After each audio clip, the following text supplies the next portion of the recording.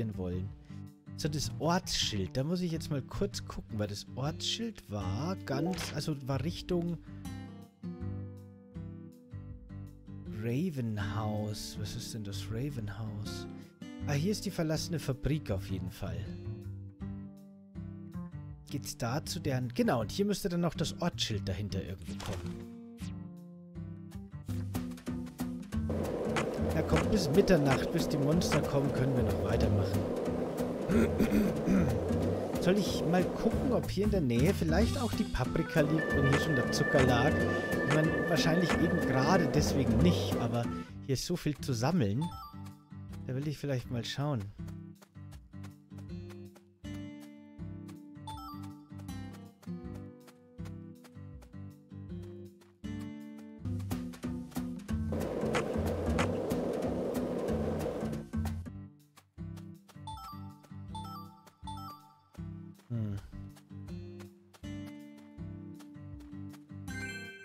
Naja, Reis habe ich jetzt schon wieder bekommen. Aber ich brauche den Reis gar nicht mehr.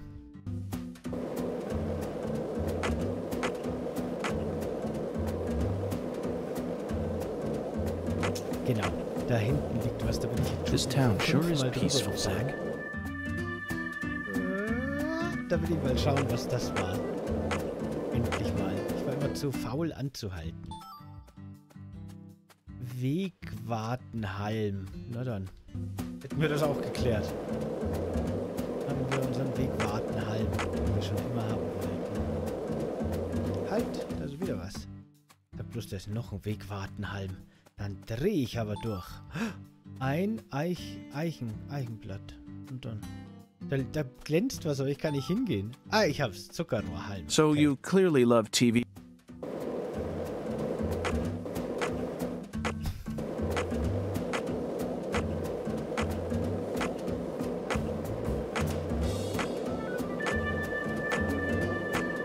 Want to talk about bridges?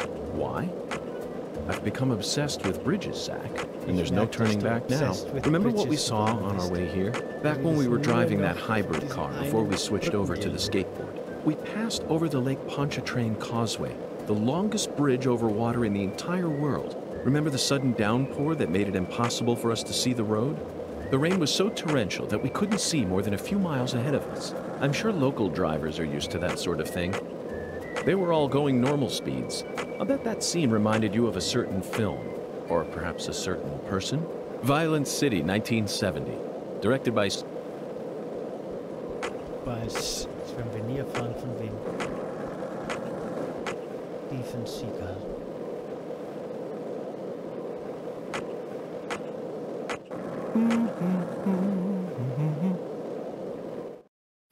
Okay, jetzt lasst uns mal schauen. Ähm, irgendwo war ein Foto mit der Fabrik. Mit dem Fabrikgelände. Müsste hier sein. Genau. Cool.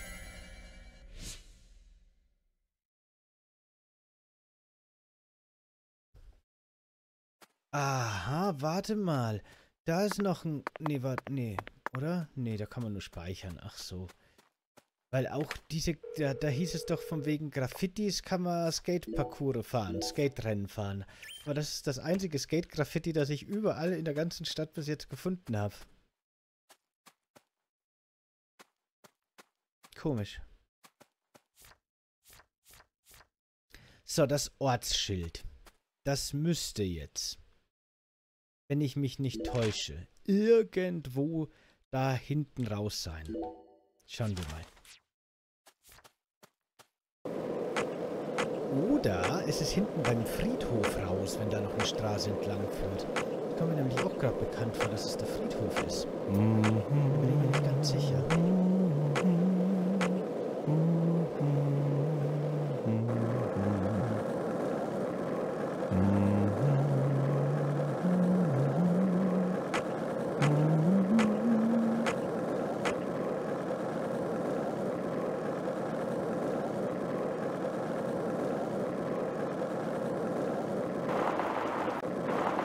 Lollipop? Two lollipops? Three lollipops? Don't mind me, Zach. This is how I wake myself up.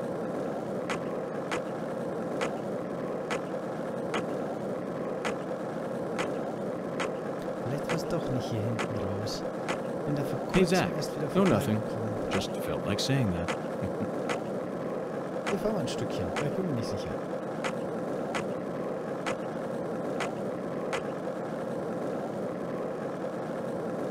This town sure is peaceful, Zach. Yes, I know. I know what you're about to say. But that's why we're here. To protect this peace. Isn't that right, Zach? Ja, das sieht doch gut aus. Das ist es, glaube ich.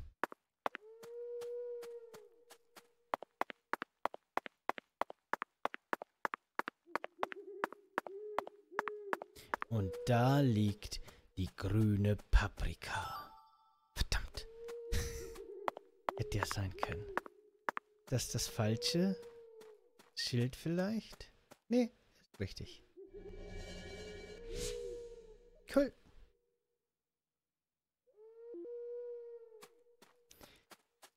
Okay, nicht schlecht. 9 von 20. 9 erst von 20. Wo könnte dieses Graffiti sein? Ich weiß es leider echt nicht. Das ist wahrscheinlich tatsächlich wieder... Muss mal gucken.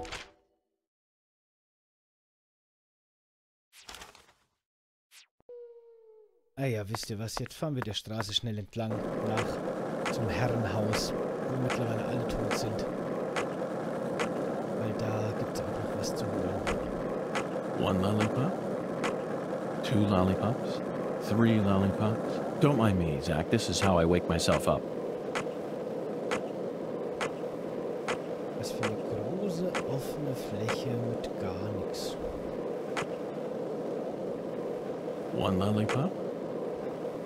Lollipops? Three lollipops? Don't mind me, Zach. This is how I wake myself up. Ja, das ist Switch-exklusiv, zumindest momentan.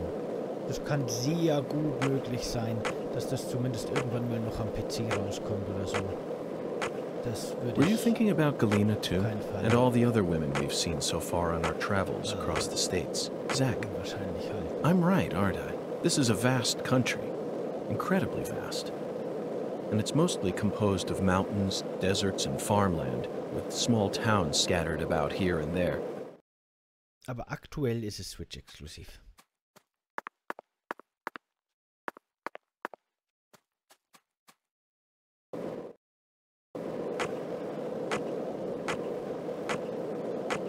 Was habe ich davon? Ich, ich denke mir immer so, hm, könnte vielleicht eine Abkürzung sein. Und im Endeffekt Did you notice it yet? The streets in New Orleans were a mess. All busted up and undergoing maintenance. The city was built on a swamp, so the ground is soft.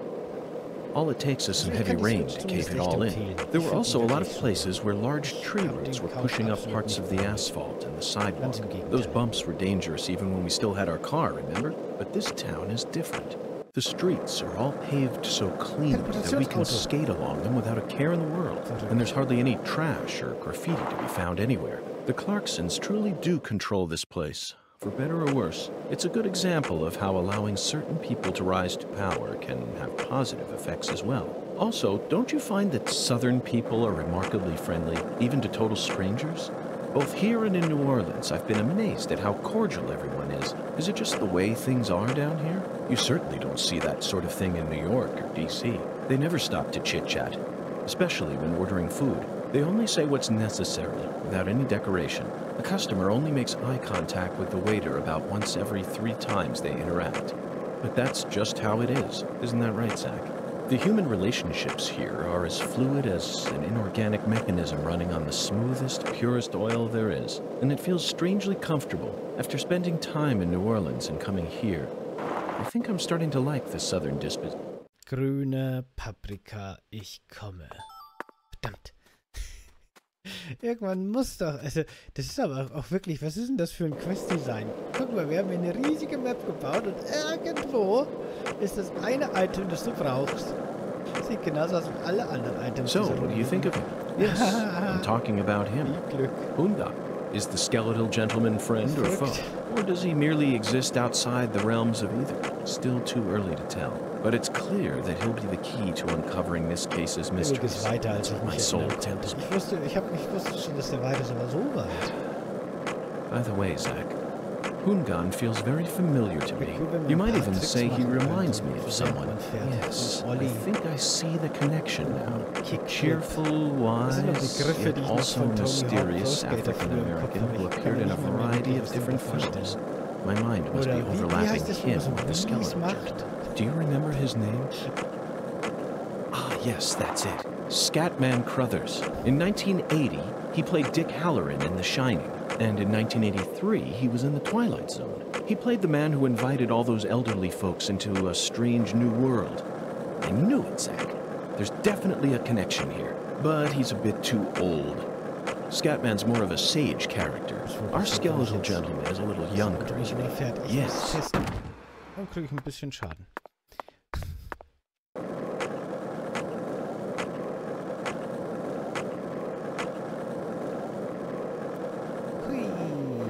This is the deep south. I feel it every time that molten hot sun pours down on me. Don't you, Zack?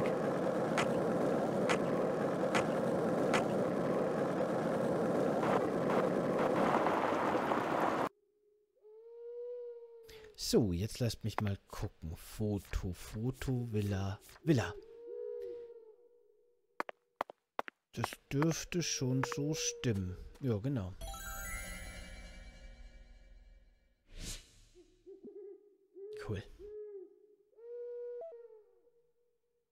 Oh hey, The Brothers. Ich hab's gar nicht gesehen. Danke fürs Folgen. Hi. Ich dreh mal hier noch kurz eine Runde, wenn wir schon hier sind.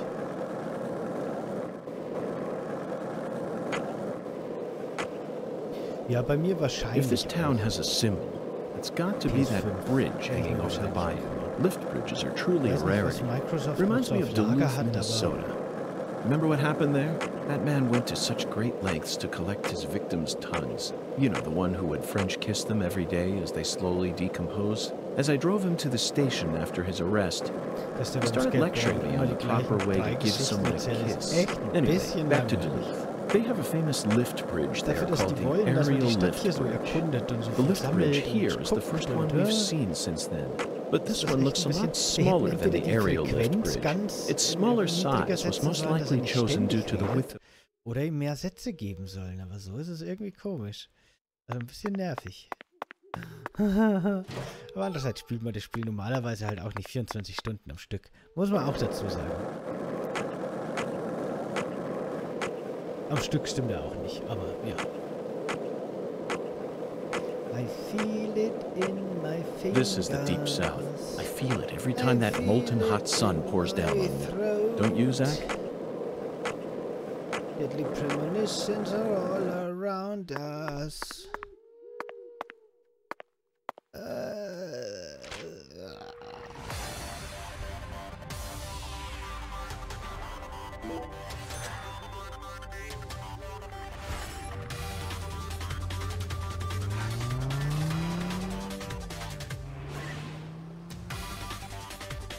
Genau, das ist eben genau der Punkt, Verlag. Das denke ich mir auch.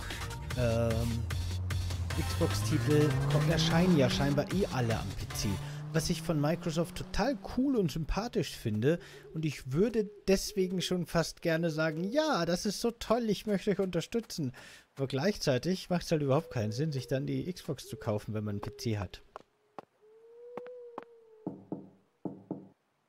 Aber hey, die verdienen ja eh über die Software, über die Hardware. You again? Ain't you got nothing better to do? Ähm, ehrlich, hart arbeitende Bürger sollten während der Mahlzeit. Was sollten, sollten während ihrer Mahlzeiten verhört werden? Ist es das, was euch FBI-Gesocks eingetrichtert wird? Ach so. Zieleine, ich habe dir nichts zu sagen. Okay, ich wollte nur schauen. Ich wollte nur schauen, ob es geht. Das ist so ein bisschen wie bei Animal Crossing. Wenn das Licht brennt, kann man klopfen und die Leute besuchen. Ja, ich bin eigentlich nur hier wegen dem Foto. Es gibt nämlich ein so ein komisches Sumpffoto, das kann ich nicht wirklich zuordnen. Und ich habe mich gefragt, ob das nicht vielleicht irgendwo hier... Aber das ist... Das finde ich jetzt ziemlich schwer zu verorten irgendwie. Das sieht nicht aus wie ein See eigentlich, eher wie Sumpflandschaft, aber auch nicht wie hier. Da stehen auch so komische Mangrovenbäume oder so. Schwierig.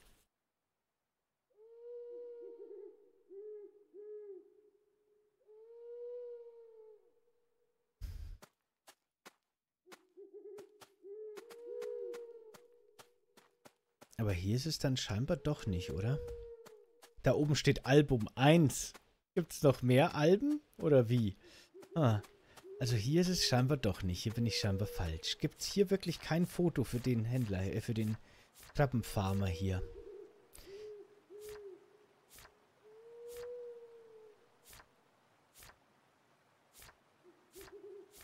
Sieht nicht so aus. Na ja, dann.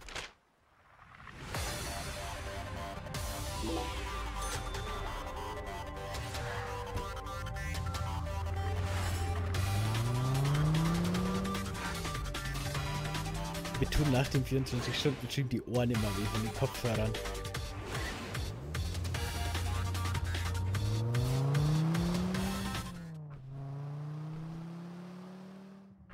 Die Mütze ist auch cool. Ich finde die auch toll. Ich habe die in einem, selber in einem Stream gesehen. Im, ich schau, ich gucke immer gerne ähm, Awesome Games Done Quick. So eine Wohltätigkeitsveranstaltung, wo Streamrunner quasi Spenden sammeln für Ärzte ohne Grenzen oder auch äh, Prevent Cancer Foundation. Hey, want to talk about bridges? Und da hat im Publikum I've become obsessed with bridges, Zach, über, and there's no turning back now. Remember what we saw on diese, our way here? Back when we were driving that hybrid car before we switched over to the skateboard. haben die ganze Zeit We gesagt, passed over the Lake Pontchartrain Causeway, the longest bridge over water in the entire world. Remember the sudden downpour that made it impossible? Jetzt habe ich eine. Wo müssen wir? Gleich nochmal. Ah ja, hier. So ein blauer Container.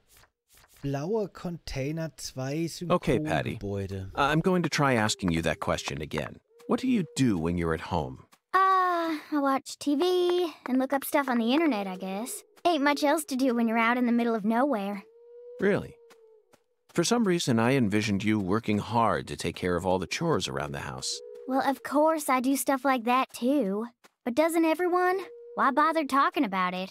Other kids your age don't help out their parents. They're too busy talking with their friends on the phone or through emails. That's stupid. I don't get.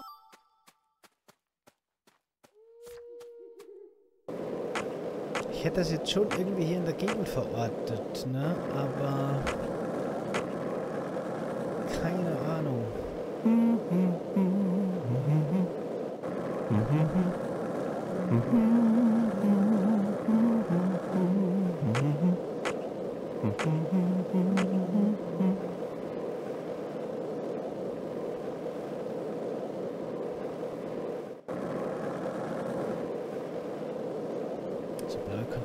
Hey, want to talk about bridges? Why? Nein, ich will nicht I've become obsessed with bridges, Zach, and there's no turning back now. Remember what we saw on our way here? Back when we were driving that hybrid car before we switched over to the skateboard. We passed over the Lake Pontchartrain Causeway, the longest bridge over water in the entire world. Remember the sudden downpour that made it impossible for us to see the road? The rain was so torrential that we couldn't see more than a few miles ahead of us. I'm sure local drivers are used to that sort of thing. They were all going normal speeds. I'll bet that scene reminded you of a certain film, or perhaps a certain person.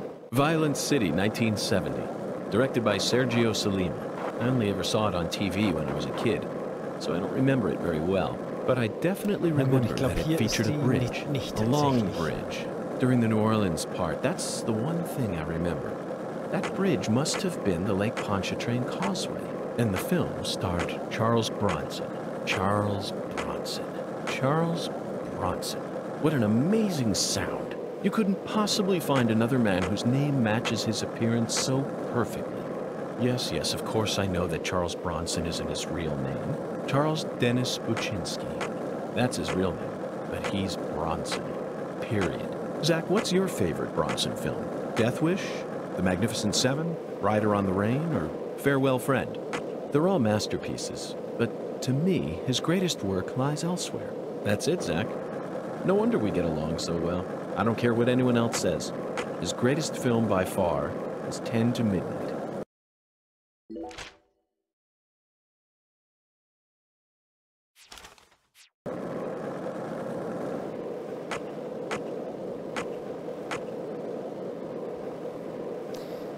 So, aber zumindest ein Foto weiß ich noch. Zach, you're a coffee person, right? erahnen. No sugar, only milk.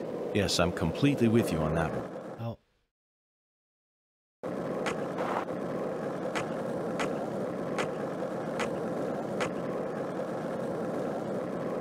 One lollipop?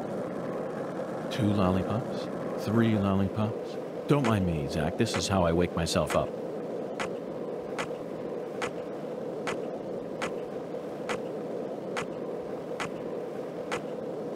So, ein Foto müsste hier This town. sein. Vorausgesetzt, wir kommen hier über die Stufe. Oh, Gott sei Dank. Puh. Bin ich auch gespannt, wie es mit VR bei der PlayStation aussieht, bei Sony. Ob die dann noch Pläne haben, das weiter auszubauen oder wie auch immer. Irgendwas.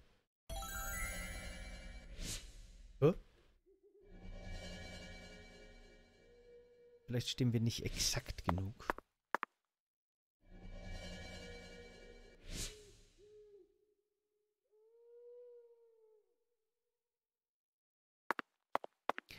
So, jetzt passt auf. Und ein Foto war irgendwie beim Friedhof dürfte das sein, aber außen. Aber war da nicht noch ein Foto, wo ich mir gedacht habe, das könnte der Park sein? Das da. Das könnte auch der Park sein, aber wo? Irgendwo von außen an der Straße. Kann man echt schwer erkennen, oder?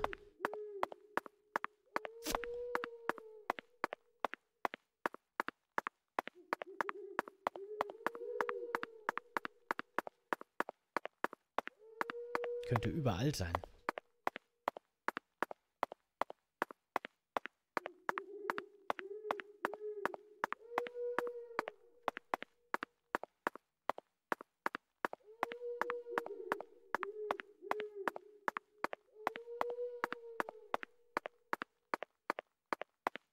Okay, es gibt ein Patent und Gerüchte, aber offiziell äh, plant Sony nichts. Na gut. Ich meine, so Patente müssen wirklich nichts bedeuten. So viele Firmen haben er, erneuern für alles ihre Patente, nur damit sie sie einfach mal haben, ohne wirklich konkret was zu machen damit. Oder einfach mal so Experimente irgendwie sich zu sichern für den Fall. Das muss wirklich nichts heißen. Da gibt es genug Beispiele für unbenutzte Patente. Gerade was so berühmte Lizenzen angeht, ist das im Grunde ständig so.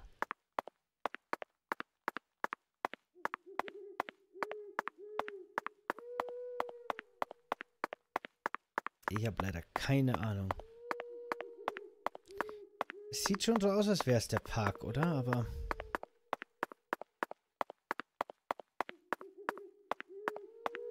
ist auch echt kein Hinweis zu sehen, der einem irgendwie helfen könnte. Aber auch die, diese, der Zaun stimmt schon ziemlich perfekt überein. Aber wo muss ich stehen?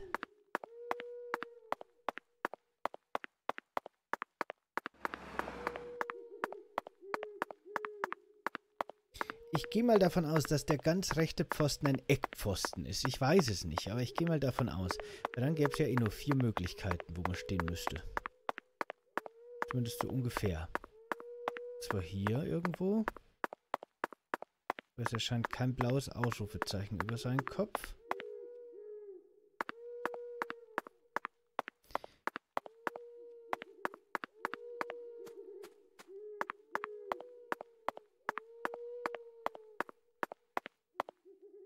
Sieht auch nicht wirklich von den Bäumen her so aus. Der große Kerl steht da wirklich die ganze Nacht im Park, oder wie? Der steht da immer noch. Verrückt.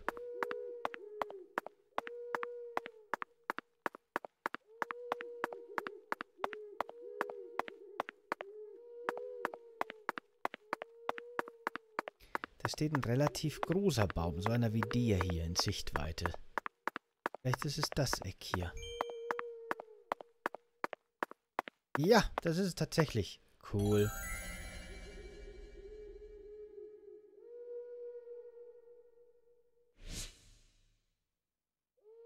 Nice.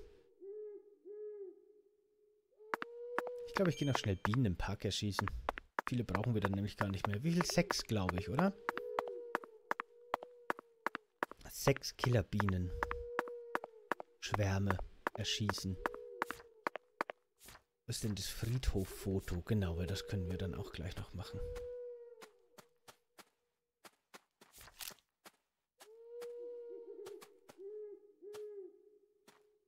Hallo? Kommen die nachts nicht raus aus ihrem Nest vielleicht, oder?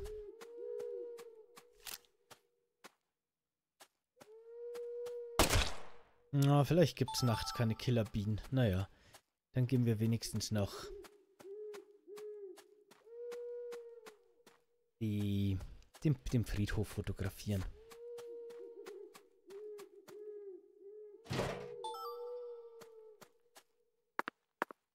Das ist auch wieder ein Eckpfosten irgendwo. Müssen wir nur rausfinden, welcher.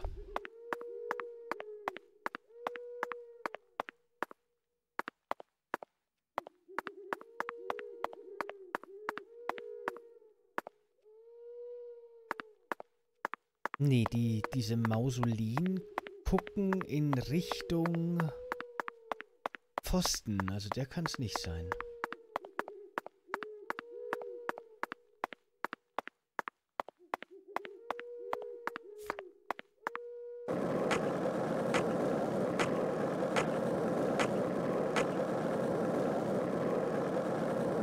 Der kann es demnach auch nicht sein.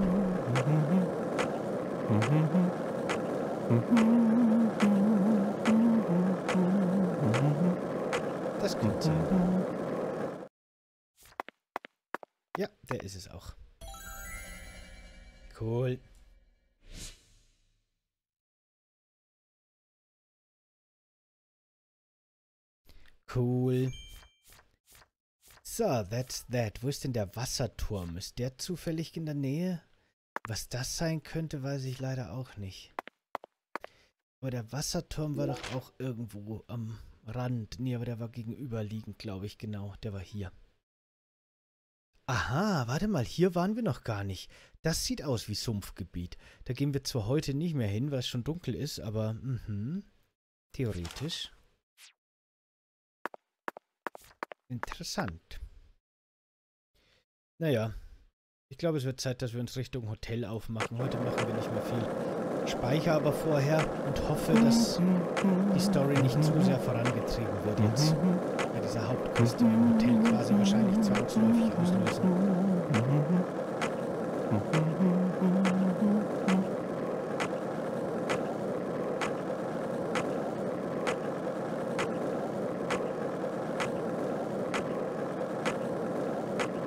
Hey, Zach, it looks like we were right on the money. Tracing the San Rouge distribution route led us right to Louisiana. You know what that means. We've got a hot hand, and Lady Luck's given us far more favor than she ever has before. We just happened to hear news about Lisa's murder while sitting in a bar during our vacation in New Orleans. That certainly wouldn't have happened if we had stayed in D.C. They would have given the case to another special agent, or maybe even to the state, and then we never would have found it. In the end, it would have been shut up in that vast, desolate evidence vault along with all the other cases, marked by nothing but a first degree murder tag, buried in a soggy grave at the bottom of a sea of data. That would have been its fate. Instead, it traveled from person to person until it finally fell right into our lap. Things always work out that way for us. We've traveled all over the United States trying to track down San Rouge. We can't let this chance pass us by, can we, Zach? We need to find some sort of clue before this southern sun melts it all away.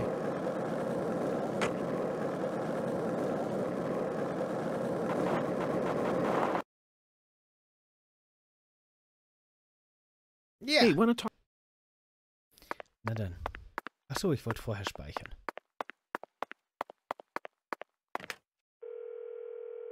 Nur für den Fall, dass ich jetzt durch die Tür gehe und dann heißt es Nebenmission 1 bis 115 gescheitert.